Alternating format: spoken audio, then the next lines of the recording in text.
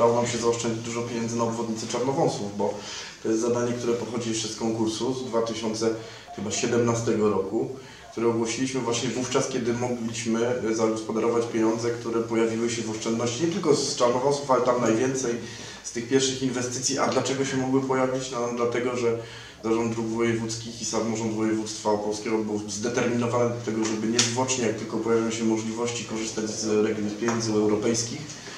I wówczas e, ceny, które były na rynku, byłyby zdecydowanie korzystniejsze dzięki temu, że byliśmy pierwsi w kraju, bo nikt wcześniej od nas nie inwestował w drogi wojewódzkie z perspektywy, e, tej perspektywy e, pieniędzy europejskich.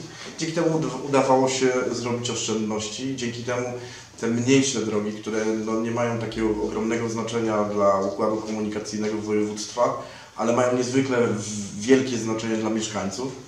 E, udaje nam się również wyremontować i cieszę się, że tym samym zamykamy ten konkurs właśnie Janowem, bo w ubiegłym roku nam się nie udało pierwsze podejście do przetargu, ale na szczęście drugie zakończyło się powodzeniem i dzisiaj możemy powiedzieć, że za chwilę pojawią się tam pracownicy pana prezesa Mrozka i firmy Remost.